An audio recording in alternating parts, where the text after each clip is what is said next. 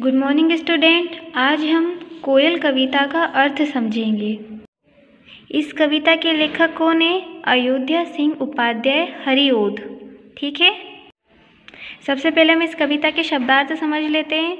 धुन मतलब लगन, एठी मतलब अकड़ी, समा समा मतलब दृश्य, लुभाना अच्छा लगना या ललचाना, मनोहर, मन को मोह लेने वाला, सुंदर।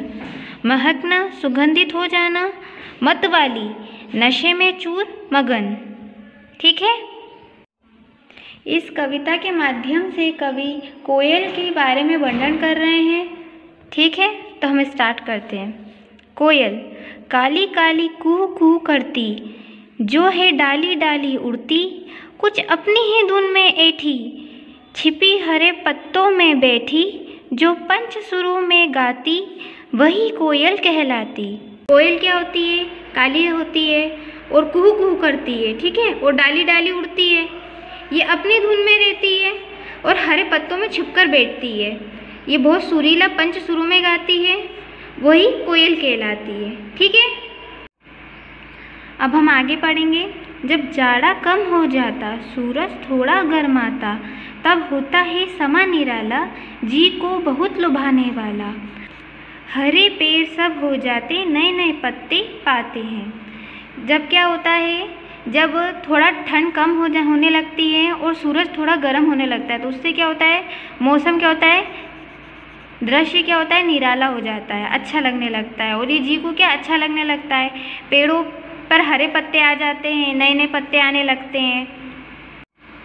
अब हम आगे समझेंगे, कितने ही फलों फलियों से नई नई कोमल कलियों से भली भांति वे लज जाते हैं, बड़े मनोहर दिखलाते हैं। क्या होता पेड़ क्या होते हैं? फल और फलों से लज जाते हैं। उनमें नई नई कोमल पत्तियाँ फूल आने लगते हैं, जो बड़े ही मनोहर दिखाई देते हैं। देखने में बहुत अच्छे लगते हैं। अब हम आगे देखेंगे।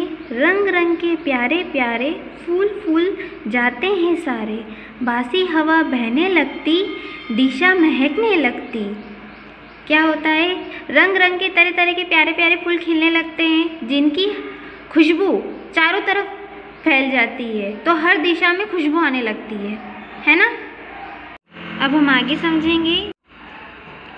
तब यह मतवाली हो होकर कुहू कुहू डाली डाली पर अजब सा समा दिखला देती है, सबका मन अपना लेती है। ऐसे मौसम पे कोयल क्या करती है? मतवाली होकर डाली डाली पर कुहू कुहू करती है, जिससे मौसम क्या होता है? निराला हो जाता है। है ना? समा निराला हो जाता है और ये देख के सबका मन मोह लेती है। ठीक है? कोयल सबका मन मोह लेती है। बच्चों, जब अपना मुँह खोलो, तुम भी मीठी बोली बोलो, इससे कितना सुख पाओगे? सबके प्यारे बन जाओगे। कवि क्या कह रहे हैं? बच्चे, तुम भी जब बोलो अच्छा मीठा बोलो, इससे क्या होगा? सबके अच्छे बन जाओगे, सबके प्यारे हो जाओगे और सब तुम्हें पसंद करेंगे और इससे बहुत सुख पाओगे। ठीक है?